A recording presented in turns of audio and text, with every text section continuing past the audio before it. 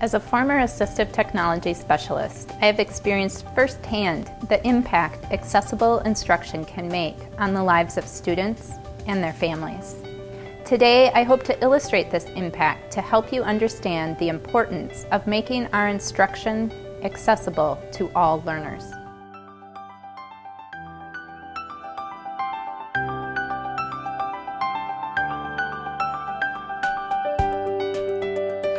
I'm here today with a former student of mine, Laura, and her mom, Nancy. Can the two of you describe to me what it was like when a teacher didn't understand your need for accessible instructional materials, Laura, and therefore didn't provide you what you needed?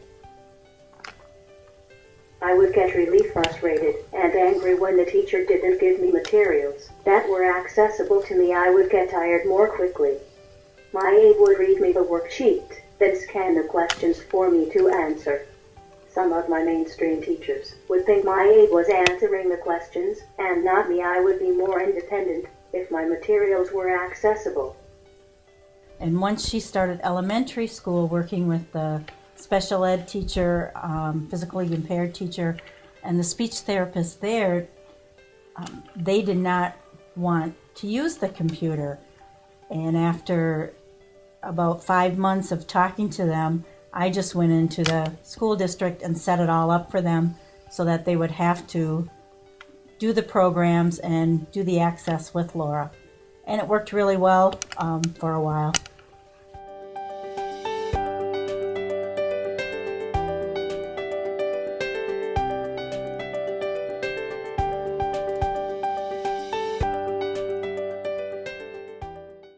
Laura, do you remember all the times, all the hours that were spent scanning materials so that your textbooks and worksheets and teacher created materials could be in a format that you could access and use?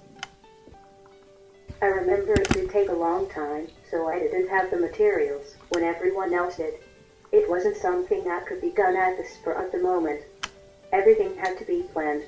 Think about how much easier it would have been if those materials had been accessible in the first place. Can you describe to me what it was like then, Laura and Nancy, when a teacher did understand your need for accessible instructional materials and did provide you with what you needed? I felt really good and understood when my teacher would take the time and effort to make my materials accessible for me. I had a lot more energy. And I felt people valued my opinion and me as a person.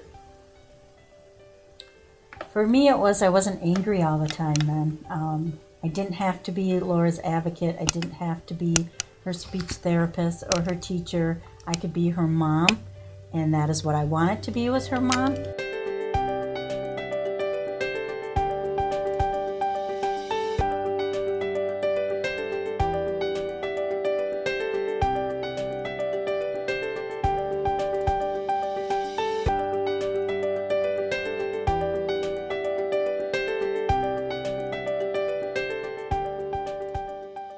So, Nancy, what steps should districts take to ensure that students who need accessible instructional materials have a positive experience in school? I think one of the first things that the school districts uh-huh. need to do is to make sure that anybody that they hire really has the willingness to learn assistant technology. If they don't have that willingness, it's going to take a long time for the the teacher to learn and, and also to teach the student. The school district will need to provide some type of professional development for their staff as far as assistant technology. Legislation such as IDEA continues to set mandates for schools to provide accessible instructional materials to all learners. Yet we continue to see schools struggling to do so. Ultimately, it's in our hands as education professionals to make a commitment to ensuring all students receive the education experience they rightfully deserve. Please make this commitment by following this link and pledging to advocate for, support, and ultimately create an accessible instructional environment in your classroom, school, district, or organization. By staying committed and working together, we are sure to make a lasting impact on the lives of all students.